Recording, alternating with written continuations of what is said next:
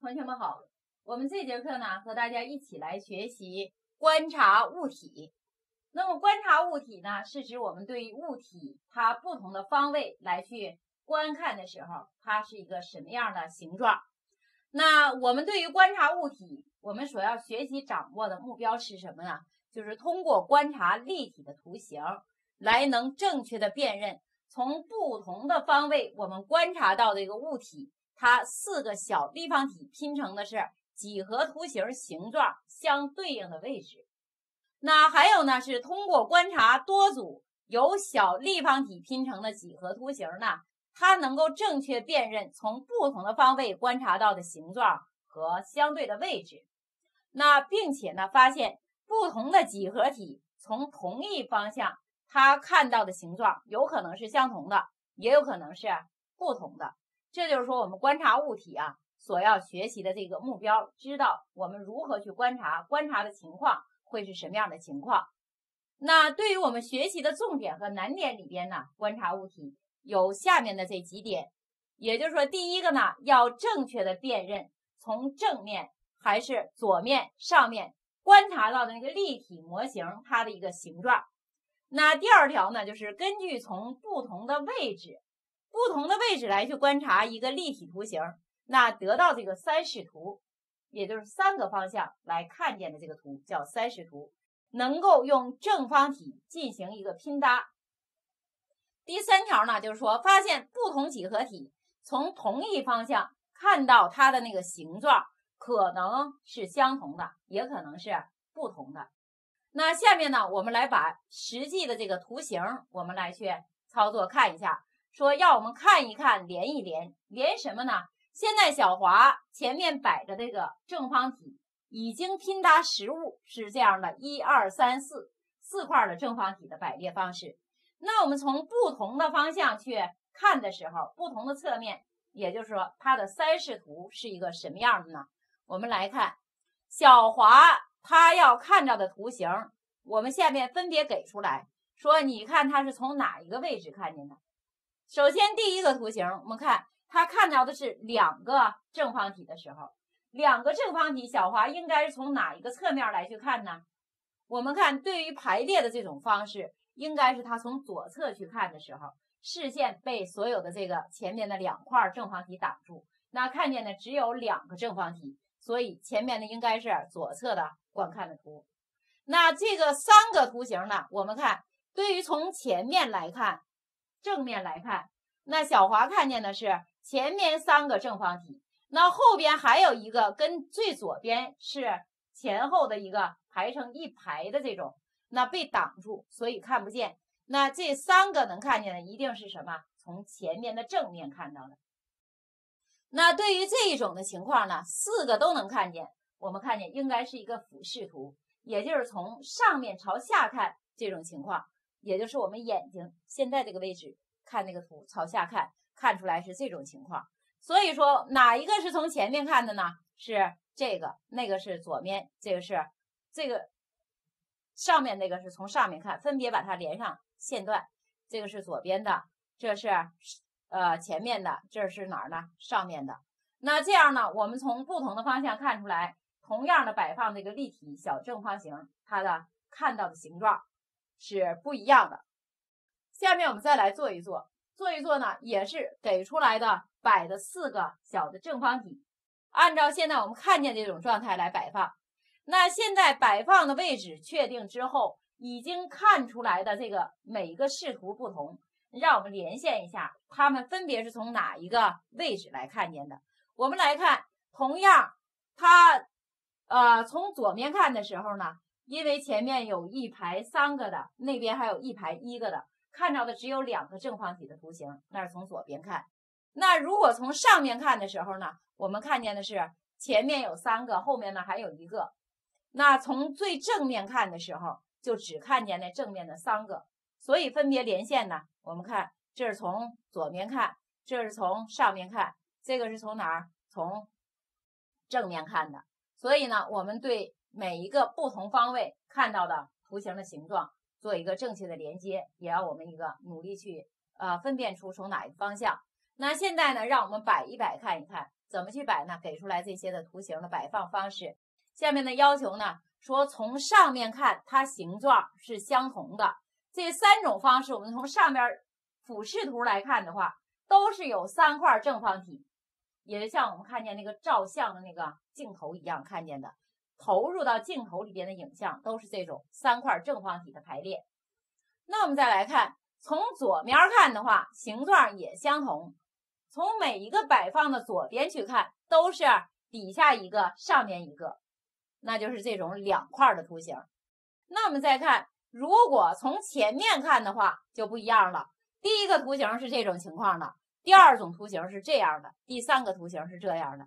那就看我们对于同样的一个角度去看，不同的图形有可能它是相同。有可能是不同的。那我们再来看现在给出来这几个摆放的图形，我们来看这三个几何体呀，从哪些方面看它们的形状是相同？从哪些侧面看它们的形状不相同？我们看每一个几何体呢，它都摆成摆成了是这样的一列，一列呢它三层不同的。那如果对于三层不同的话，我们从左侧看的话，都是看出来三个。正方形摞起来的样式，那我们从前面看的时候就不一样了，分别是这样的，看出来是有五个，这儿也是这样的五个，这五个。那么从上面看的时候呢，俯视图的时候都是看见摆出来的三个正方形，所以从上面和左面看都是三个正方形。那么从右边看的时候也是三个正方形摞在一起的。那下面我们看。说从左面看的时候是这样三个摞起来的，那从上面看呢是三个横排摆放的。那这样的话，我们再看，从它的形状呢不相同的是从正面看，纵面看的时候分别是这些形状。我们看从左面和上面呢是形状相同的时候。来，我们下边看例题，例题说呀，画出下面物体从前面、左面和上面看到的。图形，那我们说分别要画出这一个摆放的四个方块立体的正方形方块，它从正面看，也就是前面看，再有从左面看和上面看，分别看到什么样的图形呢？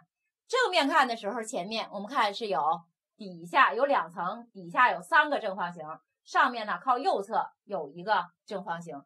那如果从左面看的时候，我们只能看见是什么？两层，底下一个，上面一个。这样的两个正方形的叠搭，那从上面来看的时候呢，是看成了一横排三个正方形的排列，所以我们把这个看到的图形呢，我们来去分别来去表示上下面这个样式。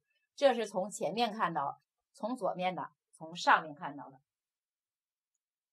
那我们再看一个例题，说例题给出来左边这个图形的摆放，摆放呢要求我们来填空。说这个填空啊，从左面和哪个方面看到它的图形是这个形状？我们知道，它既然给出左面看的是这个图形，那我们看左面看是这种的形状，是吧？也就是右边右边这侧的图形呢，上边摞出来多一层，左边呢没多，而且呢是摆放的是底层两个，上面是一个上面那层。那还从其他的那个哪一个方面看，还是这种形状，还是这种形状的呢？我们来从上面看看是不是呢？上面看的时候，我们俯视看是底下两个，上面还有一个。那我们再看，如果第二个小题从前面和哪个面看到形状是一样？前面看呢是底下两个，左侧的上面还有一个。那么从右侧看的时候，还是底下一个，右左侧呢上面还有一个。那我们所以看见我们的答案就是现在第一个问题里边，从图形的观察。我们可以知道，左面和上面看到的图形呢，都是这种的形状。从左面看和从上往下俯视的看，那第二道题说，从前面和哪边看的形状相同？前面看呢，我们知道底下两个，左侧上面那一层还有一个。那从右边看的时候是还有一个。所以呢，我们那个得出来答案就是第一个小题应该是左面和上面。